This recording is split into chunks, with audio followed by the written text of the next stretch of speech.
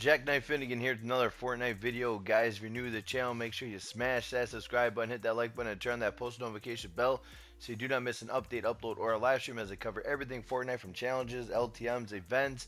I also help subs with their challenges. Guys, you want to be eligible for random gifting all throughout Season 10. All you need to do is be new to the channel, smash that subscribe button, drop your epic in the comments. That is all you need to do. Be new to the channel, hit that subscribe button, drop your epic in the comments. You'll be eligible for random gifting all throughout Season 10. Uh, so this is search two two chests within 30 seconds of each other.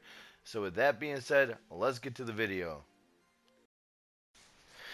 So for search two chests within 30 seconds of each other, I picked Frosty Flights because I know where a lot of the chests are. This is one of my um, awesome drops of all time. So right here, go get the chest.